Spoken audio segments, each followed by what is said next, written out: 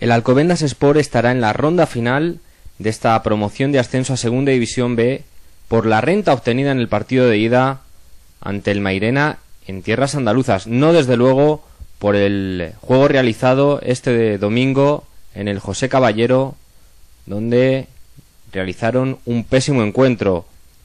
En el minuto 7 comenzó el Mairena, intentando poner en peligro la portería de Edu, lo hizo Gabri.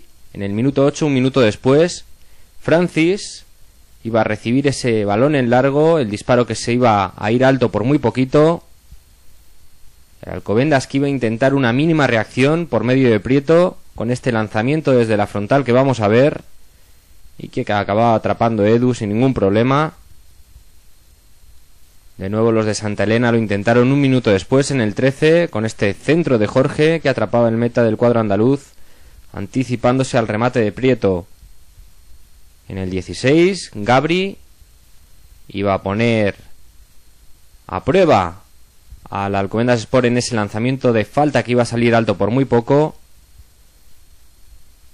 Iba a contestar el cuadro alcobendense por medio de Jorge con este disparo que iba a lanzar el lateral y que iba a detener con alguna que otra dificultad y despejar al final la zaga del Mairena. En el minuto 21 iba a llegar el único tanto del partido por medio de Baviano. Al votar esa falta iba a cabecear el defensor andaluz y el tanto que iba a subir al marcador. Vemos la jugada repetida y Baviano que cabeceaba para marcar el 0-1. Antes de llegar a la media hora, en el minuto 27, Suárez iba a haber podido aumentar la ventaja con ese disparo, pero el lanzamiento salía desviado y de nuevo Suárez en el minuto 30 iba a intentar rematar desde la frontal de la chica, pero el esférico se iba a ir fuera.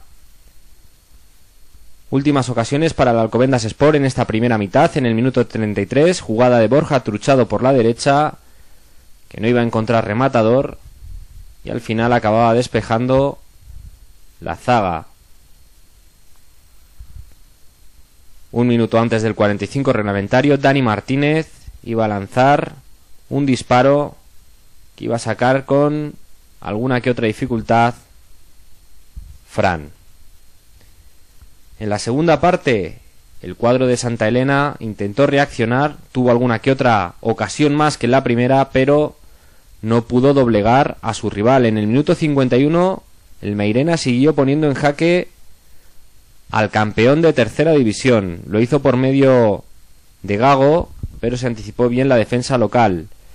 Jorge iba a intentar la igualada en este buen centro que nadie logra rematar al fondo de la red. En el minuto 60, este disparo de Borja Truchado que iba a estrellarse en el lateral derecho de la portería defendida por Fran. Ya en la recta final, en el minuto 74, el remate de cabeza muy desviado de Gabri. Un minuto después, Alex Navarro en ese saque de esquina iba a rematar, pero iba a salir alto. En el 77, de nuevo otra ocasión para el Alcobendas Sport, este disparo desde fuera del área un minuto después, Baviano iba a intentar ampliar la ventaja. Finalmente iba a sacar el meta Edu. En el 79 Víctor González iba a poner ese balón al interior del área chica y atrapaba a Edu. Gonzalo Rico tuvo también su oportunidad en este balón desde la frontal de la chica, el esférico que salía alto y ya las dos últimas ocasiones del encuentro, en esta contra del Alcobendas, Maña que lo iba a intentar, pero ese pase no iba a llegar a ningún sitio, despejaba sin problemas la zaga sevillana. La última fue para Gonzalo Rico en esta acción en la que se anticipó bien la defensa andaluza. Al final, derrota del Alcobendas Sport en el José Caballero, pero con la renta del partido de ida en Sevilla logra pasar a la ronda final de estos playoffs de ascenso a Segunda División B.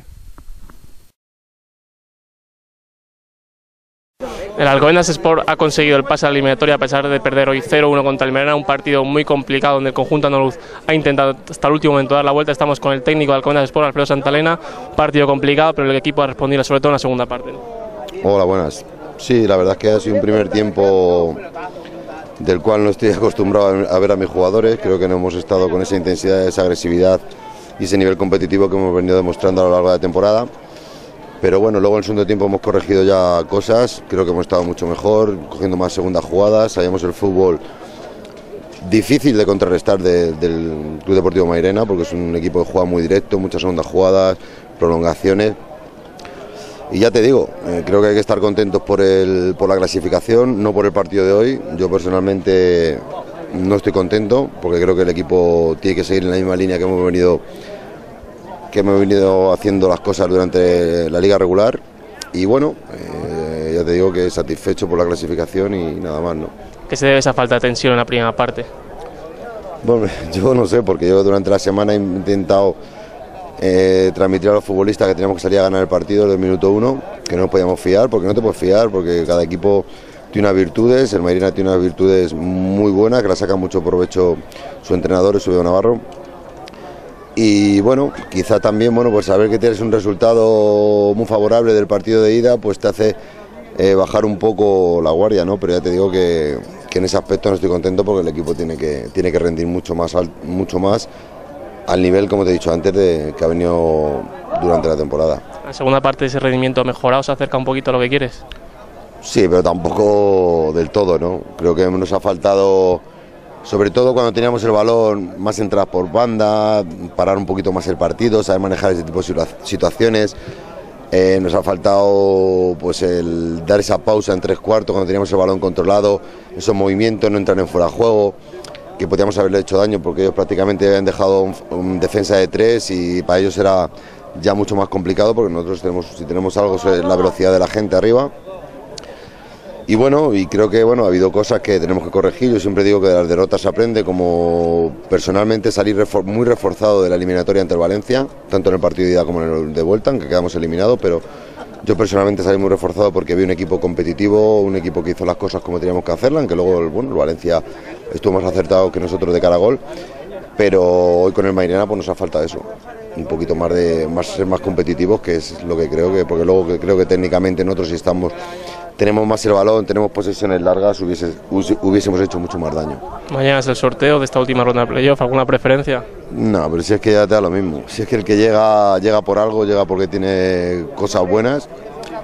Y ahora mismo, pues a ver el sorteo, sabemos que es un cuarto, un tercero. Si no hay cuartos, terceros, tocar un segundo, a ver cuántos primeros nos clasificamos y cuántos cuartos. Pero ya te digo, mira, el Mairena era un cuarto y un equipo muy complicado, muy difícil. Nosotros tuvimos la suerte que, tuvimos que, nos faltó en la partida de ida en Valencia, que metimos tres goles, en el partido de ida en Mairena. Y ahora pues a, pensar ya en el siguiente rival, ¿no? Sabemos que mañana es el sorteo y bueno, y al final pues cualquier equipo es complicado. Está el Reus Deportivo, que le metió seis al Nasara, o sea que Ojalá que, bueno, pues eh, yo el Reu no le quiero, ni en pintura, pero bueno, ya sabemos, la bolita tampoco quería el Valencia, al final me salió Valencia. Enhorabuena, Alfredo, y mucha suerte para estos dos partidos que os quedan. Venga, muchas gracias a vosotros. No ha sido el mejor partido de Alcobendas Sport, pero el conjunto de Alfredo Santalena estará en la última eliminatoria del playoff. Estamos aquí con Prieto, el capitán y uno de los hombres más destacados en tierras andaluzas y que hoy ha creado mucho peligro en la zona de ataque. Lo primero, Prieto, enhorabuena por el partido. Muchísimas gracias. Ha sido un partido complicado, más de lo esperado. Ellos han entrado muy bien, os ha costado mucho vosotros entrar en el partido, ¿no? Sí, sobre todo la primera parte no hemos salido arriba, no hemos tenido posesión de balón, no hemos sabido contrarrestar el fútbol directo que nos ha hecho. Ellos golpeaban de mucho de tres cuartos de campo, con lo cual el balón lo ponían casi en nuestra área y no hemos estado tampoco en la primera parte bien en segundas jugadas. Eso ha hecho que se, se pusiesen por delante en el marcador y nosotros sufriésemos. Después creo en la segunda parte hemos eh, mejorado en eso, lo hemos eh, solventado bastante bien, no nos han creado casi peligro, pero por contra las oportunidades que hemos tenido no las hemos sabido aprovechar. Segunda parte, en la segunda parte, como dices, habéis mostrado un mayor grado de solvencia, incluso habéis podido empatar las las ocasiones perdidas, pero el equipo ha dado una mejor cara y sobre todo ha reaccionado en una difícil tesitura que tenía. Sí, el resultado de, allí era muy bueno, nos daba cierta tranquilidad, pero tal como ha ido la primera parte, pues eh, hacía prever que, la segunda iba a ser dura también, solo que hemos corregido los errores de la, de la primera parte y nos ha faltado el gol, que en el fútbol es lo más importante. El equipo se ha recuperado del golpe moral que sufrió ante Valencia, ¿no? Sí, sí, eh, pero más que, más que golpe fue simplemente la eliminación, porque yo creo que la eliminatoria estuvo muy pareja, solo que como te digo, el, el gol fue lo que marcó el devenir de esa eliminatoria. Ellos marcaron, nosotros las que tuvimos en tierras valencianas y aquí en Madrid no las hicimos y, y por eso se llevaron la clasificación a segunda vez.